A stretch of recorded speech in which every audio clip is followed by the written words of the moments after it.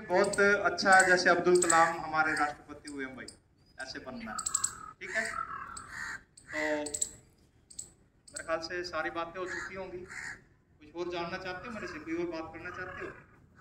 किसी भी टॉपिक पे कोई पूछना चाहता है? मैं आर्मी में भी रहा हूँ। मेरे 18 साल